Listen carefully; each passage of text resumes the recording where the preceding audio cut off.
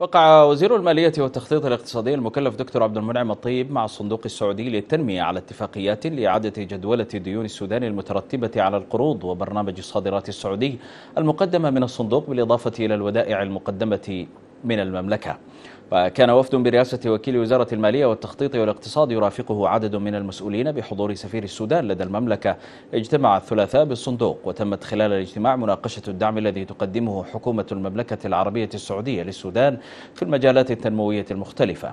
وفي ختام الزيارة تقدم الوفد السوداني بالشكر لحكومة المملكة على ما تقدمه من دعم مستمر للسودان في المجالات كافة ووفق تقرير مشترك بين البنك الدولي ووزارة المالية والتخطيط الاقتصادي فإن إجمالي الدين الخارجي يبلغ نحو 58 مليار دولار النسبة الأكبر منه فوائد وغرامات عن التأخير.